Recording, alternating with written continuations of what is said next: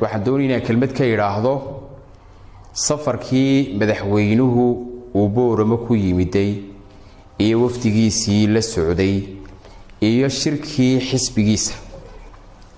Madaxweynuhu iyo boorama ma awdal wax wara oo isugu laaban horta ma jiro. War isugu laaban ma jiro madaxweynuhu wuxuu yimiday gobolka awdal isagoo wata tiknikadii iyo ciidankii abid ugu badnaa. Tiknikadii iyo ciidankii abid badnaa isagoo wata ayuu yimid. Laakiinse dadweynaha reer awdal si milgo iyo sharaf labay u soo dhoweeyeen. Dareenka isaga ku jiray annagu ma garan karayno ka xisbi ahaan. Madaxweynuhu khudbado badan buu jeediyey. Khudbadaha uu jeediyey mid dadku mahadiyeyna kuma jirin. Dhammaan guud ahaan shacabka reer somalilan waxay isugu jireen kuwo dhaleecayn iyo xajiin ay ka muuqatay gobollada bariga. Waxay isugu jireen awdal markuu la hadlayey kuwo wiirsi iyo faan isugu jira bay ahaayeen. Markaan ereygaa ku leh madaxweynuhu khayriyadda boorama wuxuu kaga qudbadeeyey waxqabadkii gobollada kale u ka soo qabtay. Reer awdal uma sidin hal mashruuc oo keliya uma sidin wax mashruuca oo uu siday ama uu dhagax dhigay ma jirin ama uu ballanqaaday haddii laga tegi waayo afar neefuu geelaa qolada maxaabiista u geeyey waxqabadkii ugu badnaa u keenay taas ahayd. Waxqabadkii ugu badnaa u keenay afartaa neefii geela yaad inay xanuunsanayeen moodaysa ee maxaabiista ugu deeqay baa jirtay. Gobollada bariga oo madaxweynaha laga doortay oo si milgele looga doortay markuu awdal joogay madaxweynuhu wuxuu ku tilmaamay gobollo aqoontoodu liidato ilbaxnimadoodu hoosayso laga fiican yahay buu ku tilmaamay. Laakiinse nasiib darra shalay maanta maaha ereygaasi waxaan maqlayay dad badan oo reer bariya oo aada uga hadlaya annaka reer awdal ahaan erey afkaya ka soo baxay maaha walaalnimo wadajir iyo wanaag baan anagu ini haynaa ka xisbi ahaan laakiin waa mid ku kooban madaxweynihii aad doorateen iyo xisbigiisa daba guurayey wax ku kooban weeyaan. Waxaa dhibidi ka soo gaadhay madaxweynuhuna dee waa caadadiiso waa kii horeu yidhi fartaa dhexda laga qaniini. Xisbigan kulmiye laydhaana nin walibana intuu dheef gashaday oo dhib u ka maalaa. Reer awdal intii dooratay maanta dhibtii ugu badnayd bay ka maalayaan. Adigaa arkayey khudbadiisa hadallada ku jiray dhibta xeebaha ka taagan. Xeebaha dhibta ka taagan madaxweynuhu abaar baa ku dhacday. Haddana duufaan gaara ku dhacday. Dadkaa xeebaha joogaaye walaalihiihii waxaa isku diraya wakhti duruuf adag baa isku diraysa. Waxaa iskudirkoogaasi iyo dhibtaasi ay taallaa. Dadkii xooluhu ka barakacay oo le beer baan qodaya iyo kii xoolaha daajinayo le wardaaqsintii waa intaa intale ma keenin hal mashruuc awdalu dadka ku kala furanayo mana keenin fikir iyo caqliyad dadka ama dowladiisa uu ku amrayo oo ugu gurmanayo markuu ka hadlayay wuxuu yidhi madaxweynuhu waxaad moodaysa inuu ku wiirsanayo dhibta reer awdal. Wuxuu yidhi hubbaad isku haysataan boqolaal ciidanaad isku hor fadhidaan. Dee idinkuunbaa xalkayga keeni karaya buui markay reer awdal xalkayga keeni karayaan waa madaxweynihii qaranka waa kii isagu ka gurman lahaa ee guurti iyo wax cid isagu cid u diri lahaa waa hadallada wiirsiga u muuqday ee madaxweynuhu kaga qudbadeynaya khayriyadda buram ee halkaa uu la soo joogay. Waxaa kaloo iyaduna aada iyo aada iyo aadaan ula yaabanahay madaxweyne toban sano xisbigaagaasi jiraa in ka badan buu dalka ka taliyaa. Toban sano yuu ka taliyaa. Weli may dhicin doorasho la mahadiyey oo nabadii. Manaydan qaban maanta waxaa kordhin ku jira oo xisbigaagaasi la soo bilaabay golihii guurtida. Waxaa isaguna kordhin ku jira golihii baarlamanka oo xisbigaagaasi kordhinayaan daahir yaalla ugu dambeysay doorasho baarlaman la qabto. Waxaa ku jira golayaashii deegaanka ee dalka laga doortaybaa iyaguna sannadkii sideedaad. Madaxa la sii galaya. Oo dadweynihii ay u talinayeen ee loo doortay markay gabeen xilkoogii. Ee dhib mooyaane ay dheef ka waayeen iyagii dadkii kaa kala qaaday.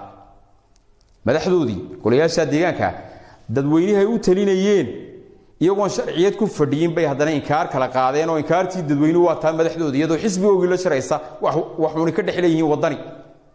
Mana garan karayno waa dhibta dadka lagu hayo. Maad qaban kari waayin madaxweyne seelyaalka iska daa. Maanta doorashada qabsoomideedu markaad saamiga ka hadlaysa aday madaxweyne kugu xidhantahay waxaa madaxweynaha hadalkiisa ku jirtay gobolka awdal iyo maroodi jeex baa boqolkiiba labaatana boqolkiiba lixdanna way doonayaan. Madaxweyne lugta hanagu jiidan. Lugta hanagu jiidan. Adaa wax wada qaatay. Ninka wax wada qaatay waa adiga. Awdal saddex iyo toban qof baa ka shaqeeya baarlamankan ka gala.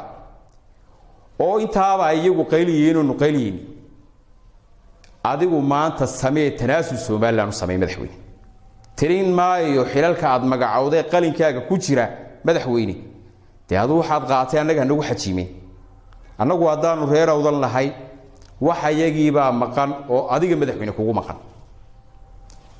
Mana aha annagii wax nagu maqnaayeen inaad tidhaahda galbeed galbeed wadda miinis galbeed. Galbeedku maka markaad qalinkaaga qaadanaysa ee aad qorayso aniga i hilmaama eeni garanayn. Ee adigu adiguna isqorto kaasaa galbeed la ydhaha waa caadada kulmiye abaalla-aantu waxaan arkayay oo shirweynaha aada iyo aada iyo aada iiga dhex muuqday. Gobollada bariga xajiinta waxaa u dheeraa weliba khaasatan. Xisbigan madaxweynahan maanta jooga madaxweynihii ka soo ka horreeyey degmooyinku ku atirsanayay dadka ka soo jeeda. Waxaad moodaysa inaan indha aan la jeclayn lagu eegaya booro markay joogeen. Oo xisbigu ku eegay. Aada buu ugu eegay. Madaxweyne haddaad xisbigaagii kordhisay ood guurti kordhisay ood baarlaman kordhisay oo aad golo deegaan kordhisay somalilan ma kordhinun baynu ku jiraynaa? Gebi mooda kordhin baynu ku jiraynaa? Waxaa kaloo halkan aada ula yaabanahay wafdiga madaxweynaha la socday niman reer boorama ah oo xan hoose reeraha ku lahaa saamigu waxa maaha saamigu waxa maaha qaarkood aqoon bay sheeganayeen. Samafal bay ka shaqeeyaan qaarkood inanka reer boorama ninka la hor iman karayo saamigii ma jiro. Wuxuu la mid yahay sida inanka hargeysa jooga loogu dhicilaayay calan buluuga in hargeysa in la saaro. Hargeysa calan buluuga in la saaro inanka u dhashay sidaa uga xiga dhimashada. Ayaanu boorama uga xignaa dhimasho xuquuqdii aanu lahayn oo aanaan helin. Waxaanu aqbali doonana maaha ka sidaa ku fikiraya ama aqoon-yaan ha ahaado. Ama siyaasi dabada la soo taabtay ahaado ha ogaado shacbiyaddu halkay taagan tahay wayna dhammaatay xilligii lagu tixgelinayay nin walba wuxuu ahaa.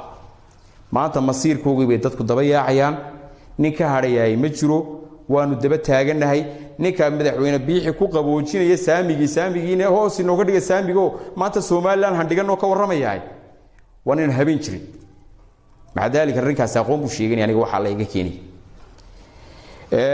guud ahaan xisbiga kulmiye way sharfeen dadweynaha gobolka awdal. Isagu se waxna muu xurmayn waxna muu sharfin gobolladii laga doortay wuu xajiimeynayaa madaxweynuhu oo xisbigu wuu xajiimeynayaa kuwii aan laga dooran maalinba xisbiga kulmiye waxaad moodaa somalilan gudaheega inuu hidan ku dhex yaarayo dhuumidhuumay wixii loodhan jira ku dhex yaarayo. Maalinba cidaan baran inuu daba cararayo. Sida ii muuqateen arkayo marka imka galbeed galbeed galbeed la leeyahay waxaan dareemayaa dadkii xisbiga ku soo tabacay ee tabaca soo geliyey in maanta haddana lagu xuubsiibanayo goormuu xisbigu noqon doonaa mid sataloo taageerayaashiisa leh. Anigu waxaan ku soo gebagabaynayaan lehay madaxweyne adaa dalka ka taliya iyadii kuwaa lama taliso. Waxaanad u haysataa waa lala taliyaada ceebbaad u haysataa annagu waxaanu leenahay kama tegayna hal santi oo waxyagiiya oo saamigiiya kama tegayno reer awdal. Guud ahaana somalilan kuma jirayso kordhin maanta madaxweynaha xisbigiisii kordhinaya doorasho goormaa laga sugi. Shalay waxay lahayn xisbigiisu waddanii baa hortaaga war ma hortaagnina xisbigiinii baad kordhiseen wax walba maa la kordhin hadalkayga intaasaan ku soo koobayaan leh